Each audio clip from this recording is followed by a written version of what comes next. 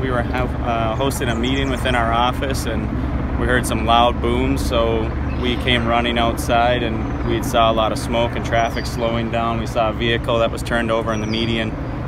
So myself, my brother, and some employees jumped the fence. We rushed over and uh, got the door open to the first uh, passenger we saw.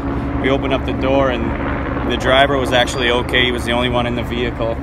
Um, he was very scared and shook up, but he had uh, no marks on him that I believe he was able to get out on his own after we opened up the door for him.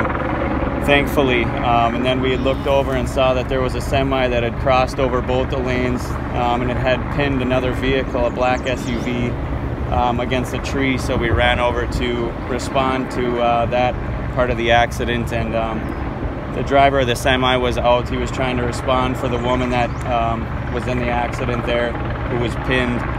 We opened up the passenger door. We finally got to the woman, and um, she was conscious but uh, hurt very badly, and uh, she was pinned in the vehicle. So we, we just tried to stay with her until uh, the first responders came, um, and, and, they kind of took over from that point. So I'm just uh, praying that, that that woman is okay right now. So.